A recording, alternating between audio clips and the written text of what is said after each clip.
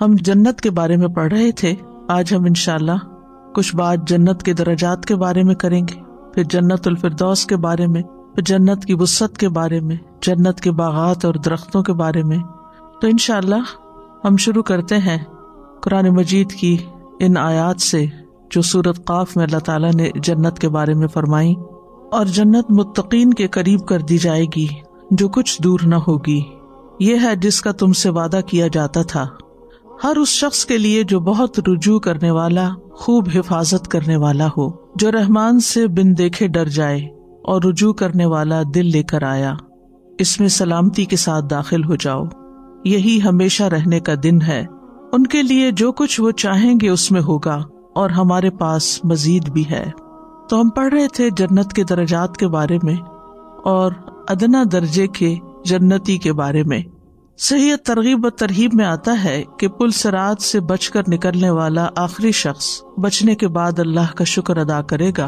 वो कहेगा कि अल्लाह का शुक्र है जिसने मुझे वो अता किया जो किसी को अता नहीं किया। उसने मुझे जहन्नम से निजात दी, जबकि मैंने उसे देख लिया। फिर उसे जन्नत के दरवाजे के पास वाक़ नहर की तरफ़ ले जाया जाएगा। सो वो गुसल करेगा, बस उसकी तरफ़ अहले जन्नत की खुशबू और उनके रंग लौट आएँगे। तो जो कुछ जन्नत में है, वो उसको दरवाजे की दर्ज से देखेगा, यानी सुराख से देखेगा और कहेगा ए मेरे रब, मुझे जन्नत में दाखिल कर दे। तो अल्लाह ताला उससे फरमाएगा, क्या तू जन्नत का सवाल कर रहा है, जबकि मैंने तुझे जहन्नम से निजात दे दी? बस वो कहेगा ए मेरे रब, मेरे और उसके दरमियान ऐसा पर्दा बना दे, ताकि मैं उसकी आहट न सुन सकूँ। फिर वो जन्नत में दाखिल कर दिया जाएगा। उसको अपने सामने ऊपर एक मंजिल दिखाई देगी। गोया के अब वो जिसमें पहुँच चुका है, वो एक ख्वाब है। सो वो कहेगा ए मेरे रब, मुझे ये मंजिल अता कर दे। तो अल्लाह तबारक ताला उससे फरमाएगा, शायद कि अगर मैं तुझे वो दे दूँ तो तू इसके अलावा भी मांगे। बस वो कहेगा, नहीं, मुझे तेरी इज़्ज़त की कसम, मैं तुझसे इसके अलावा कुछ और नहीं मांगूँगा। और इससे अच्छी और कौन सी मंजिल होगी? फिर वो उसे दे दी जाएगी तो वो उसमें उतर जाएगा। फिर उसको अपने सामने एक और मंजिल दिखाई देगी। गोया कि अब वो जिसमें पहुँच चुका है, वो एक ख्वाब है। वो कहेगा ए मेरे रब, मुझे ये मंजिल दे दे। तो अल्लाह तबारक ताला उससे फरमाएगा, शायद कि अगर मैं तुझे वो दे दूँ तो तू इसके अलावा भी मांगेगा। बस वो कहेगा, नहीं है मेरे रब, मुझे तेरी इज़्ज़त की कसम, इससे अच्छी और कौन सी मंजिल होगी? चुनाचे वो उसे दे दी जाएगी। सो वो उसमें उतर जाएगा और फिर खामोश हो जाएगा। फिर अल्लाह सुबहान ताला जिसका ज़िक्र बुलंद है, फरमाएगा, तुझे क्या हुआ? तू मांग नहीं रहा। तो वो कहेगा ए मेरे रब, मैं तुझसे मांग चुका। यहाँ तक कि मैं तुझसे शर्माने लगा। और मैंने कसम खाकर कहा था कि अब और नहीं मांगूँगा। यहाँ तक कि अब मुझे मांगते हुए तुझसे शर्म आती है। तो अल्लाह सुबहान तला फरमाएगा, क्या तू खुश नहीं कि मैं तुझे दुनिया की पैदाइश से लेकर, यानी जब से दुनिया बनी, उसके फना करने के दिन तक की मानंद और दस गुना ज़्यादा दे दूँ। यानी जितनी चीज़ें अव्वल से आखिर तक दुनिया में बनाई गई, वो भी और उससे दस गुना और ज़्यादा। तो वो कहेगा कि अल्लाह, क्या तू मुझसे मज़ाक करता है? हालाँकि तू तो रब्बुल इज़्ज़त है। बस रब तबारक ताला उसकी इस बात पर हंसेगा। रावी कहते हैं कि मैंने अब्दुल्ला बिन मसूद को देखा कि जब वो इस हदीस के इस मकाम पर पहुँचे तो हंस पड़े। तो एक शख्स ने उनसे कहा, ए अबू अब्दुलरहमान मैंने आपको देखा है कि आप ये हदीस कई बार सुनाते हैं और जब इस मकाम पर पहुँचते हैं तो आप हंस देते हैं। तो उन्होंने कहा कि मैंने रसूल अल्लाह सल्लल्लाहु अलैहि वसल्लम को ये हदीस कई बार सुनाते हुए सुना। वो जब भी इस हदीस के इस मकाम पर आते तो हंस पड़ते। यहाँ तक कि आपके दंदान मुबारक नज़र आते। कहते, बस रब जिसका ज़िक्र बुलंद है फरमाएगा, नहीं मैं मज़ाक नहीं कर रहा, लेकिन मैं इस पर कादिर हूँ, तू मांग। वो कहेगा, मुझे लोगों से मिला दीजिए। यानी वहाँ भी ज़ाहिर के खुशियाँ जो है वो लोगों के साथ ही होती हैं, इंसान के अंदर जो सोशलाइजिंग का एक एलिमेंट है। जन्नत कितनी भी खूबसूरत हो, कितनी भी बड़ी बड़ी नेमतें हो, लेकिन अकेलापन तो फिर अकेलापन है। तो अल्लाह ताला फरमाएगा, जा, तू लोगों से जा मिल। चुनाचे वो चलेगा और जन्नत में दौड़ लगाएगा। यहाँ तक कि जब वो लोगों के करीब होगा, उसके लिए मोतियों का एक महल बुलंद कर दिया जाएगा तो वो सजदे में गिर पड़ेगा। फिर उसको कहा जाएगा, तू अपना सर उठा, तुझे क्या हुआ? वो कहेगा, मैंने अपने रब को देखा है। क्योंकि उसने रब को देखा नहीं तो वो समझेगा कि शायद यही रब है। या मेरे लिए मेरे रब ने तजल्ली और जहूर फरमाया है। बस कहा जाएगा, ये तो तेरी मंजिलों में से एक मंजिल है। फरमाया, फिर वो एक शख्स से मिलेगा और उसके लिए सजदा करने लगेगा इन एक्साइटमेंट में और हैरानी में। तो उसको कहा जाएगा, रुक जा। तो वो कहेगा, मेरा ख्याल है कि तू फरिश्तों में से एक फरिश्ता है। तो वो कहेगा, मैं तेरे खजानचियों में से एक खजानची हूँ। और तेरे गुलामों में से एक गुलाम हूँ। मेरे मातहत एक हज़ार मुहाफिज और खादिम हैं, जिन पर मैं निगरान हूँ। यानी मैं उन सब का जिम्मेदार हूँ। यानी ज़ाहिर वो उसके खजानों और उन सब चीज़ों के जो मैनेजमेंट का अमला है, वो सारा होगा। फरमाया फिर वो उसके आगे आगे चलेगा। यहाँ तक कि उसके लिए महल खोल दिया जाएगा। वो महल खौलदार मोतियों का होगा। उसकी छतें, उसके दरवाजे, उसके ताले, उसकी चाबियाँ खौलदार मोती से बनी होंगी।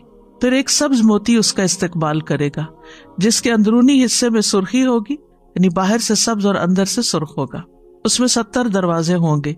हर दरवाज़ा अंदर से एक सब्ज मोती की तरफ़ पहुँचा देगा। यानी जिस दरवाजे से भी जाएगा, वहाँ से एक और मोती आ जाएगा। और हर मोती का अंदर का हिस्सा एक और मोती तक पहुँचा देगा, जिसका रंग उसके रंग के अलावा होगा। यानी हर जगह अलग रंग की होगी। हर मोती में पलंग होंगे बीबियाँ होंगी, खादमाएँ होंगी उनमें सबसे कम दर्जे वाली औरत मोटी मोटी इंतहाई खूबसूरत आँखों वाली होगी। उस पर सत्तर जोड़े होंगे। उसकी पिंडली का गुदा उसके जोड़ों से बाहर नज़र आ रहा होगा इतनी क्रिस्टल क्लियर उसकी स्किन वगैरह होगी। औरत का जिगर मर्द के लिए आईना होगा, यानी शीशे की तरह होगा, और मर्द का जिगर औरत के लिए आईना होगा। जब भी जन्नती उस हूरे इन से नज़र हटाकर वापस दोबारा देखेगा तो वो उसकी नज़र में सत्तर गुना ज़्यादा हसीन हो चुकी होगी। फिर उससे कहा जाएगा, देखो तो वो झांकेगा। बस उसको कहा जाएगा, तेरी बादशाहत की मुसाफत एक सौ साल के बराबर है और तेरी निगाह पूरी जन्नत को देख लेगी। इस पर उमर रज़ी ने फरमाया ए काब, तुम नहीं सुन रहे कि इब्ने उम अब जो है, यानी इब्ने मसूद, जो हदीस बयान कर रहे हैं, वो अदना मर्तबे के जन्नती के बारे में है? तो आला जन्नती का क्या हाल होगा? उन्होंने कहा अमीरुल मोमिनीन, जिसे किसी आँख ने नहीं देखा, किसी कान ने नहीं सुना बेशक अल्लाह बुलंद ज़िक्र वाले ने एक ऐसा घर तैयार किया है, जिसमें उसने जो चाह रखा, बीवियाँ हैं, फल और मेवे और मशरूबात हैं, फिर उस पर मुहर लगा दी। फिर उसे उसकी मखलूक में से किसी ने नहीं देखा, न जबरील ने, न उनके अलावा किसी और फरिश्ते ने। फिर काब ने यह आयत तिलावत फरमाई, फला उखफी आयुन जजा अम बिमा कानू या मलून कोई नफ्स नहीं जानता कि उसकी आँखों की ठंडक और राहत के लिए क्या छुपाया गया है? ये उनकी वो जजा है जो उन्होंने काम किए। यानी जिन्होंने अमल किया और जो बड़े दर्जे के जन्नती हैं, उनकी जन्नतें तो किसी ने देखी तक नहीं। किसी फरिश्ते तक ने हत्या के जबरील सलाम ने भी नहीं देखी। और इसके अलावा उसने दो जन्नतें बनाई हैं, जिन्हें उसने जितना चाहा मुजयन कर दिया है। और उसने उन दोनों को अपनी मखलूक में से जिसे चाहा दिखा दिया। फिर फरमाया कि जिसका अमालनामा इल्लीन में होगा, वो इस घर में उतरेगा जिसे किसी ने कभी नहीं देखा। यहाँ तक कि एक शख्स इल्लीन वालों में से होगा। वो निकलेगा और अपनी बादशाहत में चलेगा तो कोई खैमा जन्नत के खैमों में से बाकी न रहेगा, मगर उसमें उसके चेहरे की रोशनी दाखिल हो जाएगी। यानी इंसान खुद इतना हसीन होगा कि उसके चेहरे की रोशनी जो है, वो दूर दूर तक जा रही होगी। बस वो उसकी खुशबू से खुश होंगे, और वो कहेंगे, इस हवा और इस खुशबू पर ताज्जुब है। ये खुशबू तो इल्लीन वालों में से किसी शख्स की है, जो निकल कर अपनी बादशाहत की सैर कर रहा है। उन्होंने फरमाया कि ए काब, ये दिल तो अपने सीनों से निकल गए, जरा थामो इनको। यानी इतना हुसन और इतना सब कुछ सोचकर। तो काब ने फरमाया, जहन्नम के लिए क्यामत के दिन सांस होगा। कोई मुकर्र फरिश्ता और नबी मुरसल न होगा, मगर वो अपने घुटनों के बल गिर पड़ेगा। यहाँ तक कि इब्राहिम खलीलुल्लाह कहेंगे ए मेरे रब, नफसी नफसी, यहाँ तक कि अगर तेरे अमल के साथ सत्तर नबियों के अमल का इजाफा कर दिया जाए तो भी तुझे यही गुमान होगा कि तेरी निजात नहीं होगी। यानी वो इतना हौलनाक दिन होगा। इतना खौफ हर एक पे तारी होगा कि इंसान को उसके अमल बहुत थोड़े नज़र आएँगे। और हकीकत है, हमारे अमाल है भी बहुत कम। जन्नत तो इससे बहुत ज़्यादा कीमती। है लेकिन जन्नत के लिए जो सबसे कीमती चीज़ है, वो इखलास है, तोहीद है। अल्लाह की इबादत है। अल्लाह के साथ किसी को शरीक ना करना है।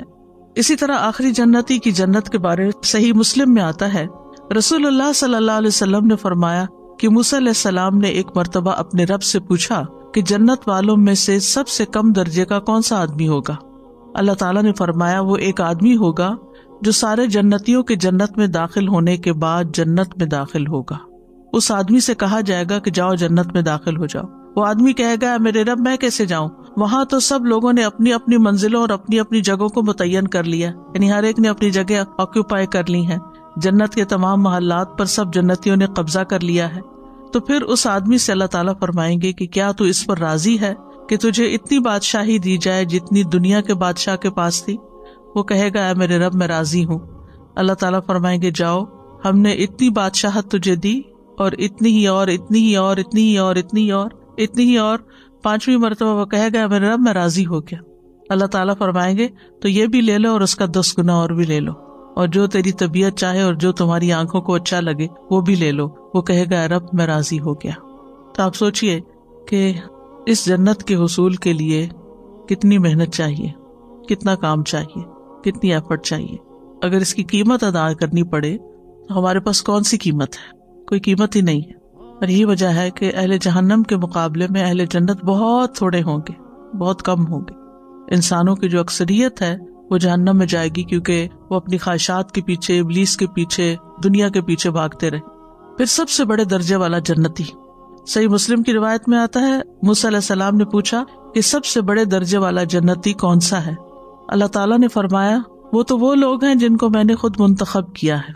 सुबहान अल्लाह अल्लाह ने चुन लिया उन बंदों को और उनकी बुजुर्गी और इज़्ज़त को अपने हाथ से बंद कर दिया और फिर उस पर मुहर भी लगा दी। तो ये चीज़ें न तो किसी आँख ने देखी हैं और न किसी कान ने सुनी है, और न ही किसी इंसान के दिल पर इन नेमतों का ख्याल गुजरा है। उसका मिसदाक अल्लाह ताला की किताब की ये आयत है, फला इसके बाद जन्नतुल फिरदौस, जो सबसे बुलंद और सबसे खूबसूरत जन्नत है। नबी सल्लल्लाहु अलैहि वसल्लम ने फरमाया, फिरदौस जन्नत का टीला यानी ऊँचा मकाम है। वो जन्नत का आला और अफजल और खूबसूरत हिस्सा है। नबी सल्लल्लाहु अलैहि वसल्लम ने फरमाया, जब तुम अल्लाह से सवाल करो तो जन्नतुल फिरदौस का सवाल करो, क्योंकि वो जन्नत का आला और अफजल हिस्सा है। यानी मांगने में क्या मुश्किल है? अल्लाह ताला के लिए देने में कुछ मुश्किल नहीं। तुम मांगो उससे। और अगर हम मांगेंगे तो अल्लाह ताला शायद कुछ अच्छे अमल की भी तोफीक अता फरमा दे। तो इंसान के इरादे ख्याल ऊँचे होने चाहिए। थिंक हाई उबादा बिन सामिद से रिवायत है कि रसूल सल्लल्लाहु अलैहि वसल्लम ने फरमाया, जन्नत में सौ दर्जे हैं। हर दो दर्जों के दरमियान सौ साल का फासला है। हर दो दर्जों के दरमियान, यानी एक दर्जे से दूसरे में, सौ साल का फासला है। यानी सौ साल तक अगर कोई मुसाफिर चलता रहे तो जब जाकर वहाँ पहुँचे, जैसा कि ज़मीन और आसमान के दरमियान का फासला है, और फिरदौस उसका आला तरीन दर्जा है। उससे चार नहरें निकलती हैं, और उसके ऊपर अर्श है। जब भी तुम अल्लाह से सवाल करो तो उससे जन्नत फिरदौस का सवाल करो। अल्लाह अकबर, कितनी वसतें होंगी, कितनी वसतें अब सोचिए कि ज़मीन और आसमान के दरमियान का फासला, फिर सात आसमान है, एक के ऊपर, एक तिबाका फिर उसके बाद जन्नतें हैं, फिर उनके सौ दर्जे हैं, और बाज रिवायात में कुरान की जितनी आयतें हैं, उतने हैं। और फिर वो बुलंद तरीन जन्नतुल फिरदौस, और फिर उसके ऊपर रहमान का अर्श। इतनी हमारा इमेजिनेशन थक जाता है कि हम वहाँ तक इमेजिनेशन में भी नहीं पहुँच पाते, कि जितनी बुलंदी है। तो इसके लिए बुलंद ईमान और बुलंद अखलाक और अच्छे कामों की ज़रूरत है। मैं सोचती थी कि कितने छोटे छोटे अमाल के साथ भी जन्नत को कनेक्ट किया गया। जैसे छोटी सी बात है कि वुदू के बाद आप पढ़ें दुआएँ वुदू के बाद की तो उसके साथ दरवाजे खुल जाते हैं। कल मैं बच्चों को सैदुल इस्तगफार सिखा रही थी उसमें है कि सुबह अगर पढ़ें तो शाम तक हो जाए तो जन्नत। जन्नत में जाएगा।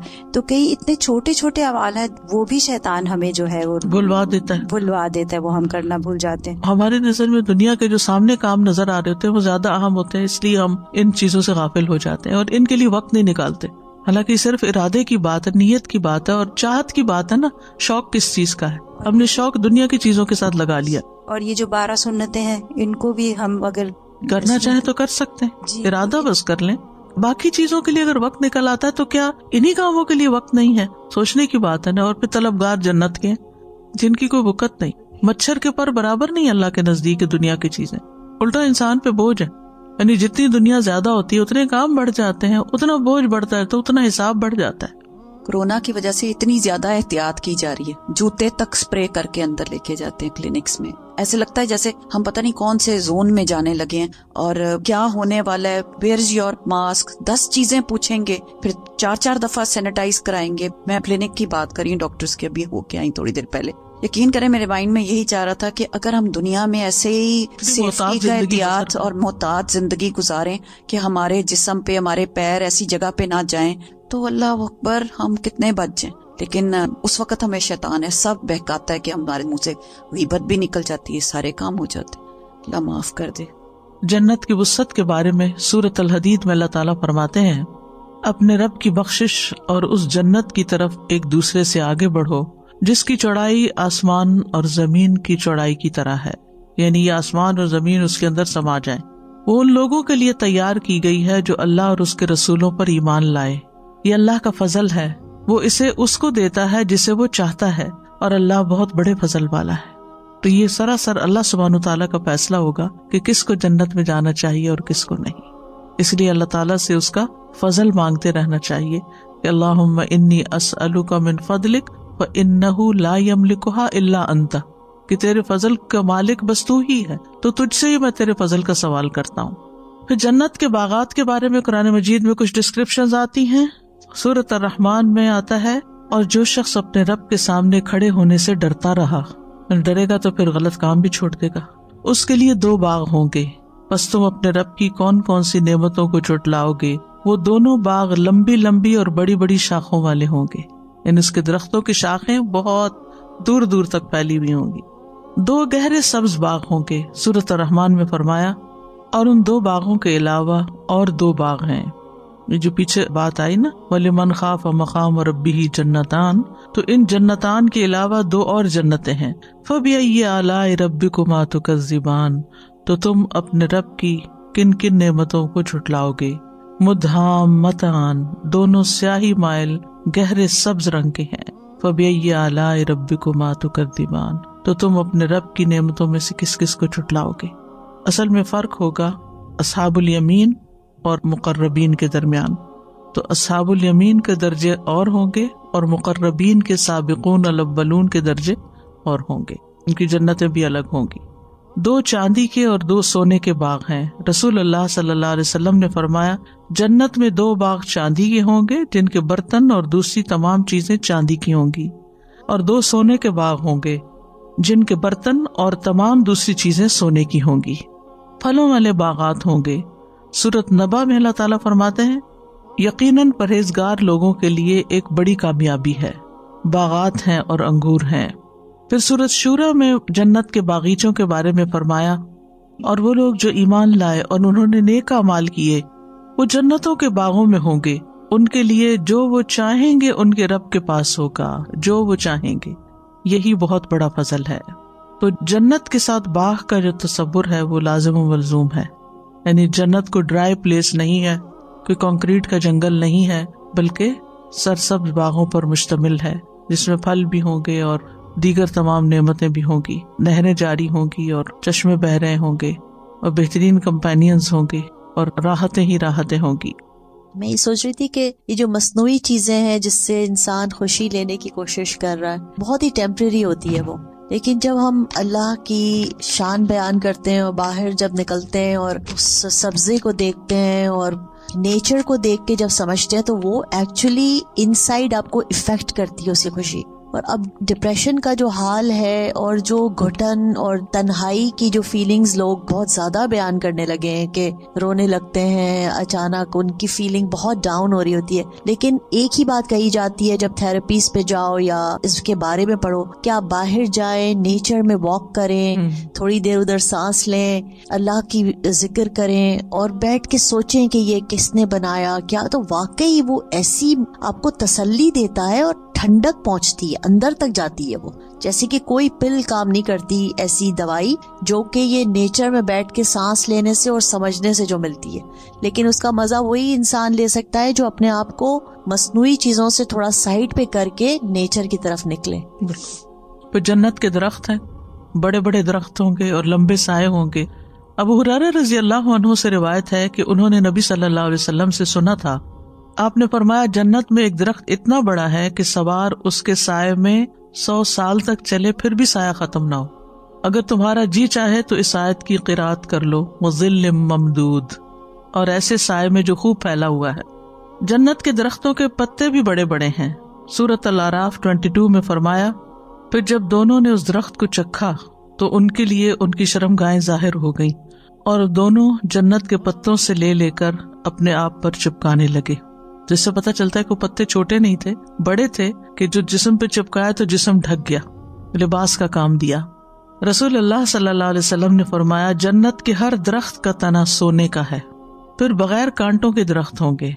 सूरत अलवाक़िया में फरमाया, और दाएँ हाथ वाले, क्या ही अच्छे हैं दाएँ हाथ वाले। वो ऐसी बेरियों में होंगे जिनके कांटे दूर किए हुए हैं, और ऐसे केलों में जो तह बतह लगे हुए हैं, और ऐसे साय में जो खूब फैला हुआ है।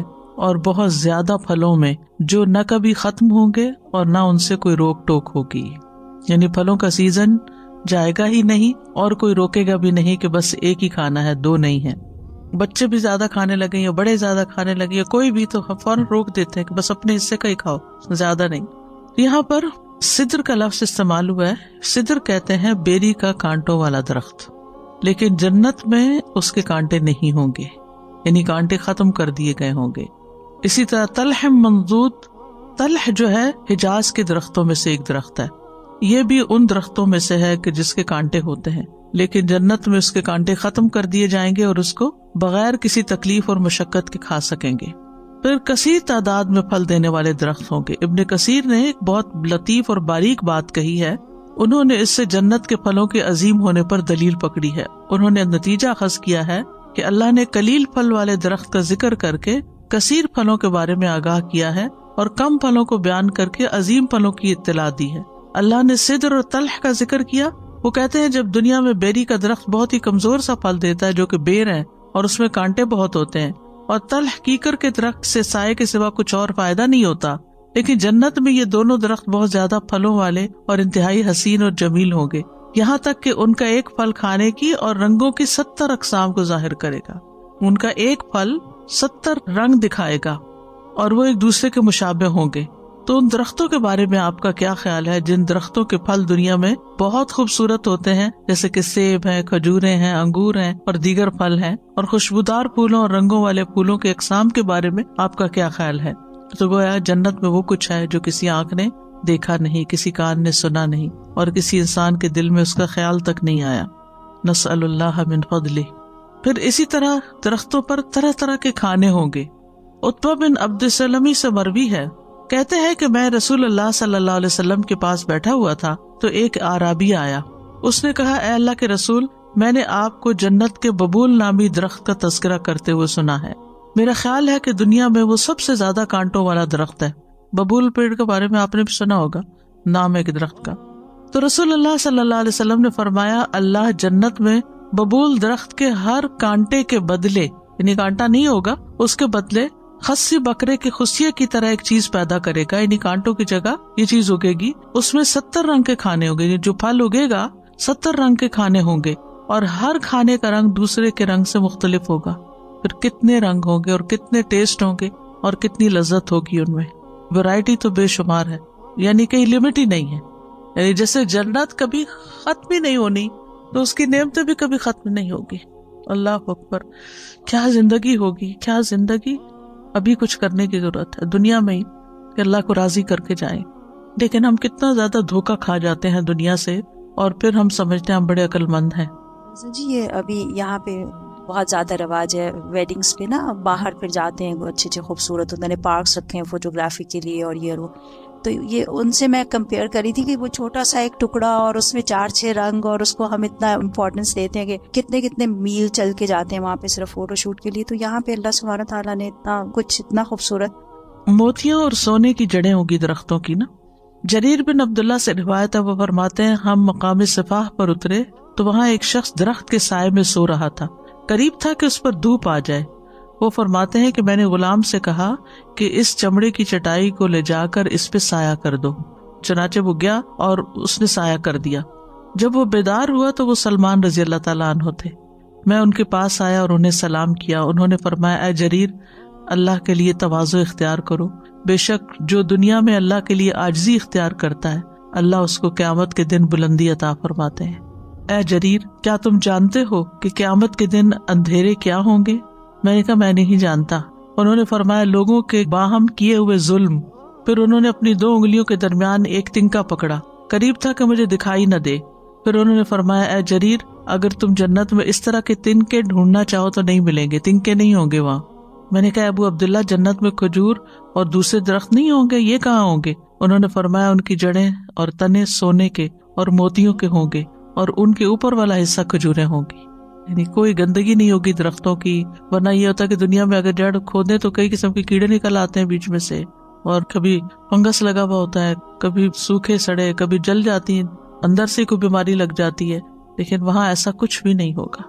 जैसे सरोस्कीज वगैरह की बड़ी बड़ी शॉप्स होती है ना क्रिस्टल्स की तो ऐसी चीज़ें बनाते हैं वो जैसे दरख्तों के नीचे गोल्ड लगा हुआ है आई I मीन mean, मोती जड़े हुए हैं अच्छा उसको खरीदना भी बड़ी रॉयल्टी है उसे घर में रखना भी बड़ी रॉयल्टी है but even you can't have a फल फ्रॉम इट राइट खजूरें नहीं लगती नहीं कुछ ना खजूरें लगेंगी ना कुछ और डर ये होगा कि ये टूट जाएगा क्योंकि क्रिस्टल का बना हुआ है और फिर इतना expensive and you feel like ये सारा कुछ कितना ऑर्नामेंट्स हैं बस खाली। लेकिन अगर इंसान सोचे कि ये तो रियल होगा मेरे आस पास होगा और हम सोच भी नहीं सकते कि रियल कैसे होगा तने कैसे गोल्ड के होंगे और चोरी भी नहीं हो रही होगी। तो जन्नत में दरख्त कैसे लगते? मैं हमेशा बच्चों को जब तस्वीर सिखाती हूँ तो मैं कहती हूँ, तस्वीर पढ़ो, जन्नत में दरख्त है तो उसको बड़ा मामूली समझते वो कहते अच्छा इतनी इतनी दफ़ा पढ़ लिया, बस काफ़ी है हम्म? तो हम इतना क्यों मामूली समझते हैं? वो सुबहान अल्लाह कहना, अल्हम्दुलिल्लाह कहना, ये जन्नत के दरख्त हैं।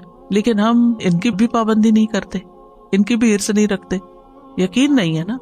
इब्ने मसूद कहते हैं रसूल अल्लाह वसल्लम ने फरमाया, जिस रात मुझे मेराज कराई गई, मेरी मुलाकात इब्राहिम सलाम से हुई। तो उन्होंने कहा, ए मोहम्मद, अपनी उम्मत को मेरी तरफ़ से सलाम पेश करना। सल्लल्लाहु और उन्हें बताना कि जन्नत की मट्टी पाकिजा और उम्दा है, उसका पानी मीठा है, और वो एक चटियल मैदान है। और सुबहान अल्लाह वल्हम्दुलिल्लाह वला अकबर कहना, वहाँ दरख्त लगाना है।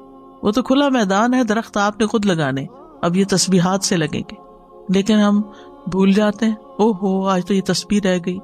एक और रिवायत में है, अबू हुरैरा कहते हैं कि वो पौधा लगा रहे थे और रसूल अल्लाह सल्लल्लाहु अलैहि वसल्लम उनके पास से गुजरे।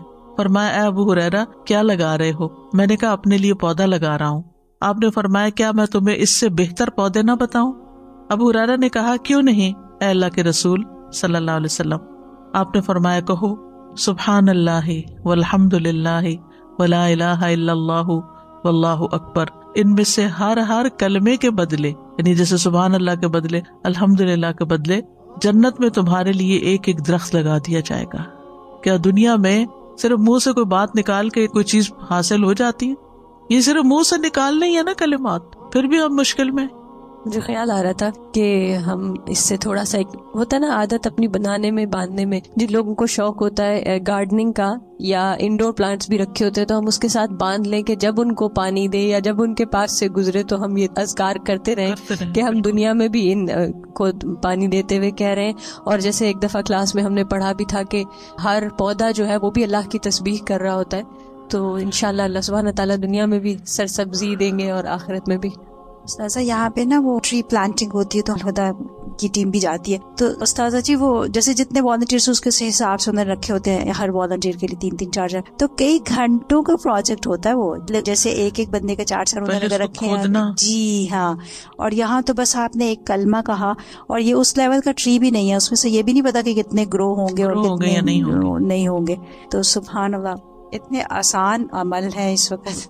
सदा जैसे अभी ये फॉल का मौसम आया है तो बस दिल जैसे बाग बाग सा हो जाता है। जैसे बाहर निकलते हैं ना पता नहीं क्या चीज़ होती है जैसे कि एक खुशी की लहर मेरे दिल में से गुजर जाती है। मुझे ऐसा होता है ये पता नहीं क्या टॉनिक मिल गया एकदम।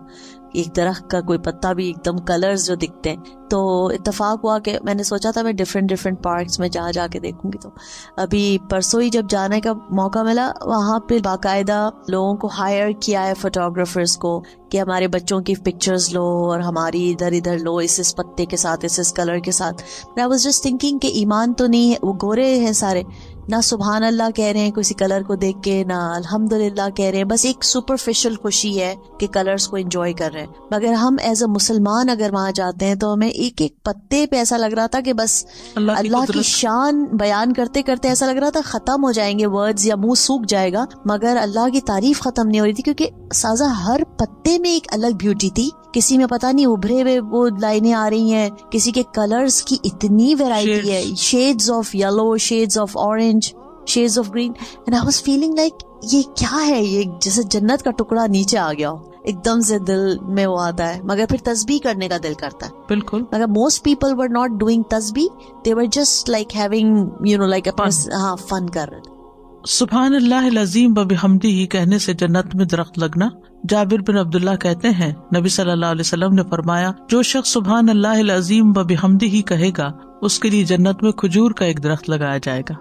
फिर मरीज़ की इयादत करने पर जन्नत में बाग मिलना। बाग। हज़रत अली रज़ी अल्लाह कहते हैं कि जो शख्स शाम के वक्त किसी मरीज़ की इयादत के लिए निकलता है तो उसके साथ सत्तर हज़ार फरिश्ते भी निकलते हैं। जो उसके लिए सुबह तक बख्शिश तलब करते रहते हैं और जन्नत में उसे एक बाग भी हासिल होगा। और जो सुबह के वक्त उसकी आदत के लिए निकले तो उसके साथ सत्तर हज़ार फरिश्ते भी निकलते हैं, जो उसके लिए शाम तक बख्शिश तलब करते रहते हैं, और जन्नत में उसे एक बाग भी हासिल होगा। फिर जन्नत का साया। जन्नत के साय घने होंगे। सूरत यासीन में आता है। बेशक जन्नत के रहने वाले आज एक शुगल में खुश हैं। वो और उनकी बीवियाँ घने सायों में तख्तों पर तकिए लगाए हुए बैठे हैं। हमेशा रहने वाले साय होंगे। सूरत रात में आता है। उस जन्नत की सिफत जिसका मुत्तकी लोगों से वादा किया गया है ये है कि उसके नीचे से नहरें बह रही हैं, उसका फल हमेशा रहने वाला है और उसका साया भी हमेशा। ये उन लोगों का अंजाम है जो मुत्तकी बने और काफरों का अंजाम आग है। फिर जन्नत के फलों के बारे में आता है कि जन्नत के फल बेशुमार हैं। सूरत जुखरुफ में है, तुम्हारे लिए उसमें बहुत से मेवे हैं जिनसे तुम खाते हो। मन पसंद फल होंगे। सूरत अलवाक़ में आता है मन पसंद फल होंगे। सूरत अलवाक़ में आता है और बाफरात फल होंगे जो कभी खत्म न होंगे और न कभी रोके जाएँगे। उन्हें वो फल खाने को मिलेंगे जो वो पसंद करेंगे। मिम्मा या मन पसंद फल होंगे। फलों की भी मुख्तलिफ़ अकसाम होगी। सूरत रहमान में है उन दोनों में हर फल की दो किस्में हैं। सूरत रहमान में खजूर और अनार के दरख्तों के बारे में है। उसमें फल हैं और खजूर और अनार के दरख्त हैं। फिर ये फल बहुत बड़े बड़े होंगे, उत्बा बिन अब असलम ही कहते हैं। एक देहाती शख्स नबी सल्लल्लाहु अलैहि वसल्लम की खिदमत में हाजिर हुआ और हौज कोसर के मुतालिक सवाल पूछने लगा। फिर जन्नत का ज़िक्र किया तो उसने पूछा, क्या जन्नत में मेवे होंगे? आपने फरमाया हाँ। उसने पूछा कि जन्नत में अंगूर होंगे? आपने फरमाया हाँ। उसने पूछा, उसके खोशों की मोटाई कितनी होगी? आपने फरमाया, चुतकुबरे कब्बे की एक महीने की मुसलसल मुसाफत जिसमें वो रुके नहीं। यानी एक कब्बा है जो दो कलर का है और वो एक महीना उड़े और जिसमें बिल्कुल स्टॉप नहीं ले तो इतना बड़ा एक खोशा होगा। उसने पूछा, एक दाने की मोटाई कितनी होगी? आपने फरमाया, क्या तुम्हारे वालिद ने अपनी बकरियों में से कोई बड़ा मेंढा जबा किया? उसने कहा, जी हाँ। आपने फरमाया, फिर उसने उसकी खाल उतार कर तुम्हारी वालदा को दी और कहा कि ये डोल बना लो। उसने कहा, जी हाँ। फिर वो कहने लगा, इस तरह तो वो एक दाना ही मुझे और मेरे सारे घर वालों को सैराब कर देगा। आपने फरमाया हाँ और तुम्हारे तमाम खानदान वालों को भी सैराब कर देगा। यानी इतना ज़्यादा होगा एक दाना, इतना बड़ा। एक मैंने रिसर्च की थी, मुझे याद आ गई अभी एकदम से सारा पढ़कर कि तीन चीज़ें दुनिया में बहुत ज़्यादा जिसके पीछे लोग भागते हैं। एक ब्यूटी होती है क्वालिटी होती है और एक रियलिटी होती है। तो दुनिया में तो ब्यूटी भी खत्म हो जाती है। ना उसका कोई वक़्त होती, ना उससे कोई जन्नत मिल सकती है। या क्वालिटी होती है, जैसे ये हर चीज़ की आप, जैसे अंगूर की क्वालिटी उसका फल बंदा है तो उसकी क्या क्वालिफिकेशन है, उसने क्या पढ़ा है, उसने क्या किया लेकिन जो रियलिटी होती है, वो बाकी रहती है। लेकिन यहाँ पर जन्नत के लिए ब्यूटी भी है क्वालिटी हम्म। भी है और रियलिटी भी और कभी खत्म नहीं हो कभी खत्म होने वाली। जन्नत के खोशे के साइज़ के बारे में आपने फरमाया मैंने जन्नत देखी तो उसमें से एक खोशा लेना चाहा। अगर मैं ले लेता तो उस वक्त तक तुम उसे खाते रहते जब तक दुनिया मौजूद है। इसी तरह अब्दुल्ला बिन अबी अलहुदैल कहते हैं हम अब्दुल्ला बिन मसूद के साथ शाम या ओमान में थे तो लोगों ने जन्नत का तस्करा किया। बस उन्होंने कहा, जन्नत के अंगूरों के गुच्छों में से एक गुच्छा यहाँ से लेकर सना यानी यमन तक बड़ा होगा। एक अंगूर के जूस से बड़ा डोल भर जाता। अबू सईद खुदरी रजील्ला कहते हैं कि रसूल अल्लाह सल्लल्लाहु अलैहि वसल्लम ने फरमाया, मुझ पर जन्नत पेश की गई तो मैं, यानी जन्नत में गया, ताकि उसमें से कुछ लाऊं। तो उसमें से मैं तोड़ने लगा कि मैं तुम्हें उसको दिखाऊँ। तो मेरे दरमियान रुकावट हायल कर दी गई। बस एक शख्स ने कहा, अल्लाह के रसूल, अंगूर के दाने का पानी कितना होगा? आपने फरमाया कि सबसे बड़े डोल के बराबर जो तुम्हारी माँ ने कभी बनाया हो। इससे पता चलता है कि औरतें सिलाई वगैरह का काम करती थी। पिछली रिवायत में भी औरत का ज़िक्र है, यहाँ भी। फिर झुके हुए फल होंगे। सूरत अलहाका में आता है, उसके फलों के गुच्छे झुक रहे होंगे। अबू लालिया कहते हैं कुतूफ हा का मतलब ये है कि जन्नत के मेवे ऐसे नज़दीक होंगे कि जन्नती जिस तरह चाहेंगे उनको तोड़ सकेंगे। दानियत उनका मतलब भी नज़दीक होना है। फिर बगैर गुटली के मीठे और नरम फल होंगे। इबन अब्बास कहते हैं कि जन्नत की खजूरों के तने सब जमुरत के हैं और खजूर की टहनियों का इब्तदाई हिस्सा सुर्ख सोने का है। सुबह अल्लाह फिर वो आहिस्ता आहिस्ता शेड बदल जाएगा और उसकी टहनियों का छिलका जन्नतियों का लिबास होगा और उनमें से कुछ कपड़े और कुछ हुल्ले होंगे। उसके फल मटकों और डोलों के बराबर होंगे। वो दूध से ज़्यादा सफ़ेद, शह से ज़्यादा मीठे, मक्खन से ज़्यादा नरम होंगे और उनमें गुटलियाँ नहीं होगी। दुनिया में तो अच्छे से अच्छे फल में भी गुटली होती। उसके जायके की भी कोई श्योरिटी नहीं होती। टहनिया अज खुद झुक रही होगी। सूरत इंसान में फरमाया, और उसके साय उन पर झुके हुए होंगे, और उसके खोशे ताबे कर दिए जाएँगे। खूब ताबे किया जाना, यानी उन्हें खाने से मना नहीं किया जाएगा, बल्कि टहनिया खुद बखुद उनकी तरफ़ झुक आएँगी। कोई रुकावट नहीं होगी। उठते, बैठते, लेटते हुए खाना खाया जा सकता है। यानी जैसे भी खाना हो खा सकते हैं। इन दुनिया में तो आप देखिए ना, ये सब की इजाज़त भी नहीं है कि आप खड़े होकर खाएँ या लेट के खाएँ। बराब ने आजिब कहते हैं, अल्लाह ताला के इस फरमान के बारे में वजुल्लत तदलीला और उसके खोशे ताबे कर दिए जाएँगे, खूब ताबे किया जाना। कि जन्नती लोग जन्नत के फलों और मेवों में से उठे, बैठते और लेटे हुए खाते रहेंगे। अल्लाह इन्ना नसअलुकल जन्ना